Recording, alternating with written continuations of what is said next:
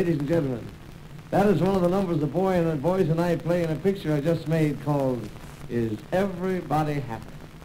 And the young lady who just danced uh, so beautifully for you is Miss Ann Pennington. Did you see the dimples in her knees? Oh, yeah? You see, we want to give you everything we promised in this picture. Of course, the boys and I play a lot of tunes, but we also have a very excellent story, a dramatic story. Uh, not too dramatic. That is, I don't die, but I do have a lot of trouble. But it all turns out all right. The boys in the band keep their jobs. I get the money, so everybody's happy. At the beginning of the story, my father brings me to America from Hungary. Uh, where is Mr. Grant? Ah, here he is, ladies and gentlemen. Mr. Lawrence Grant, my father, cinematically speaking, I would say, is one of the finest actors on the motion picture screen today. Thanks, Ted. You're not so bad yourself. And on the stage, too. you see, my father was a great conductor of classical music in the old country. And he wanted me to follow his footsteps and not play jazz. Now, uh, Ted, pardon me just a minute. If I were you, I wouldn't tell too much of the story. Oh, I see.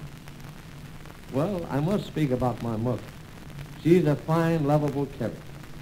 She understands me and my love for jazz music. And the part is played by none other than Miss Julia Swayne Gordon.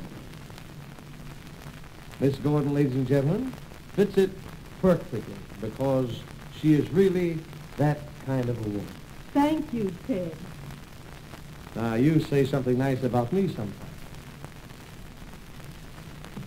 Oh, well, uh, one thing I think you like about this picture is that it has a strong, sweet romance in it. There she is now. Isn't she sweet? Ladies and gentlemen, may I introduce to you our leading lady, Miss Alice Day.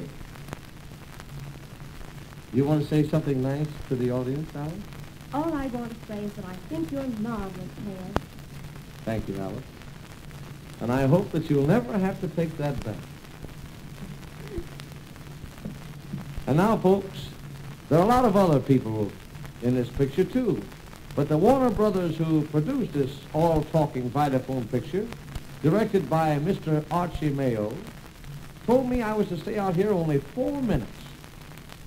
And they also told me not to play but one tune. You know, just as a kind of a teaser, you know, to make you come back and see the picture. But to show you that I'm a pretty good fella, I want you to hear the theme song. And it goes something like this. Wouldn't it be wonderful to come home to you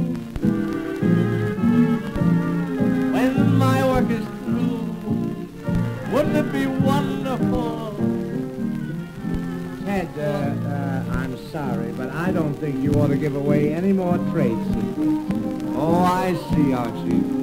You want the folks to come in the theater and buy their tickets. Yeah, I think that's a very good idea. Okay, is everybody happy? Yes, Come, come, give in. Yes, sir.